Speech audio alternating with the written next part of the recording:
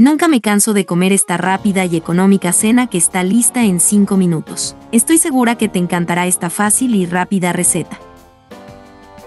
Para nuestra increíble receta necesitamos una lata de atún.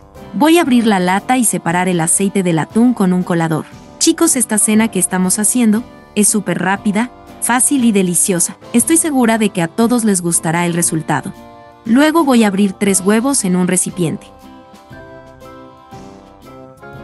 Le agregaré sal al gusto.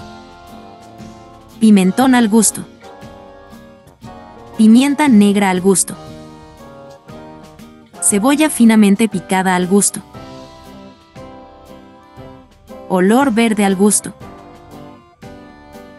Y finalmente el atún. A continuación, mezclaré bien para incorporar todos los ingredientes. Ahora en una sartén pondré un poco de aceite y untaré bien.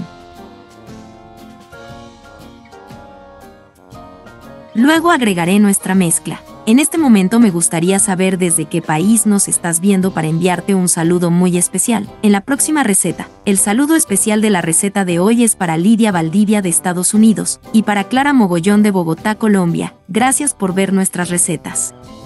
Cubriré y esperaré a que se cocine la parte de abajo.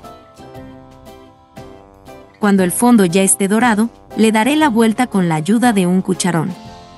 Si has llegado hasta aquí viendo la receta de hoy, eso significa que te está gustando esta receta. Así es que déjanos aquí debajo el siguiente mensaje, me encanta el atún, para enviarte un saludo muy especial. Y por último, pondré queso parmesano en nuestro plato para darle un toque especial. Lo taparé y lo dejaré cocinar durante otros dos minutos. Chicos, y ya nuestra rápida cena de último minuto está lista. Deleítate con esta receta, hazla en casa y vuelve aquí para contarme lo que piensas. Amigos, hemos realizado una fácil y deliciosa receta. Le recomiendo que haga esta receta ya que es rápida, ideal para la cena. Me gustaría que calificara esta receta de 0 a 10 para saber si le gustó el resultado. Cuénteme si es la primera vez que ves una de mis recetas y si es así, no te olvides de suscribirte en YouTube como Recetas y Bienestar con Carolina y activa la campanita para que siempre puedas recibir nuestras recetas. Muchas gracias por ver esta receta hasta el final, espero que te haya gustado, les envío un fuerte abrazo.